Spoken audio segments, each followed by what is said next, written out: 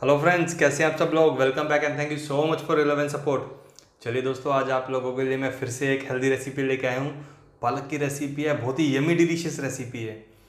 मतलब बच्चों के लिए तो इतनी अच्छी है, आप उनको ब्रेकफास्ट में लंच में टिफ़िन में दे सकते हैं। और इसको बनाइएगा ज़रूर और घर वालों के साथ खाइएगा ज़रूर। सबको बहुत ही अच्छी लगेगी।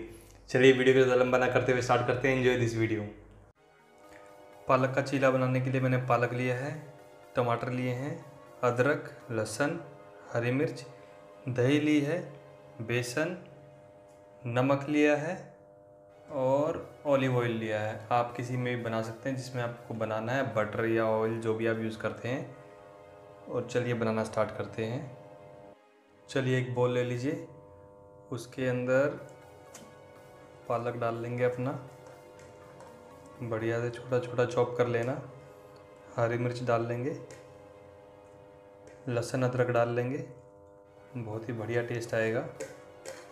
और बहुत ही हेल्दी रेसिपी है हेल्दी ब्रेकफास्ट और बहुत जल्दी बनने वाली। थोड़े सा हम इसमें टमाटर डाल लेंगे। अगर आपको कुछ और डालना है, कोई भी वेजिटेबल आप डाल सकते हैं। हम इसमें ज़्यादा मसाले यूज़ नहीं करेंगे। इसमें हम एक चम्मच डाल देंगे नमक।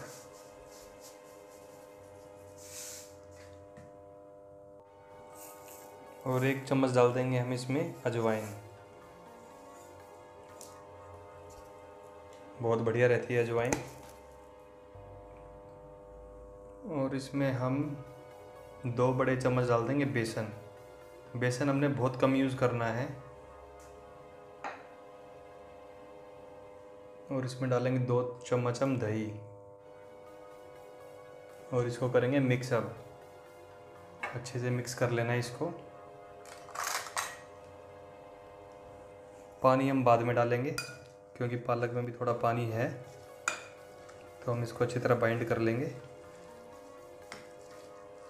ये देखिए, हमें ज़्यादा बेसन नहीं डालना है। हमें सिर्फ़ इतना ही डालना है कि बाइंड हो जाए। हमें पालक ज़्यादा रखना है। अब इसमें हम पानी डालेंगे थोड़ा सा थोड़ा थोड़ा करके पानी डालना है इसके अंदर।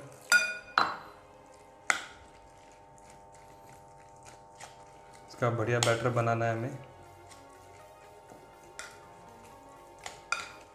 बैटर हमारा रेडी हो गया है। चलिए अब अपना तवा ले लेते हैं और इसको बनाना स्टार्ट करते हैं। चलिए तवा ले लीजिए और उस पर डाल दीजिए ऑयल। और जो हमारा बैटर है पालक वाला, उसको ऐसे डाल लीजिए। इसको धीरे धीरे फैला लीजिए। आपको जैसा साइज़ चाहिए, छोटा चाहिए, बड़ा चाहिए, आप उस हिसाब से बना लेना। इस पर थोड़ा सा ऑयल डाल दीजिए।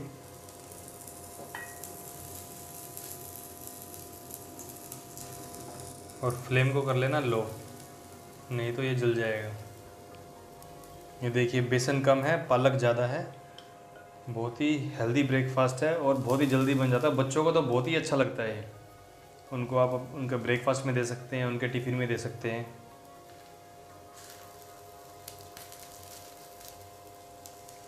चलिए इसको पलटते हैं अब।